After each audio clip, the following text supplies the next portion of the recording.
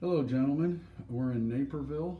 Uh, we have an old 80%, a Hall of Famer here, an 80% efficiency, uh, single stage furnace, 17 inch wide, filter size 1620 by 2 if possible. Uh, it's kind of a, a bear to change the filter if we could come up with something. Customer not adverse to popping off the flue. It's easier to change than presently. Uh, this is going to be a two ton AC. Let me give you a shot of what we're looking at here. Everything is pretty straightforward. So long and thanks for listening.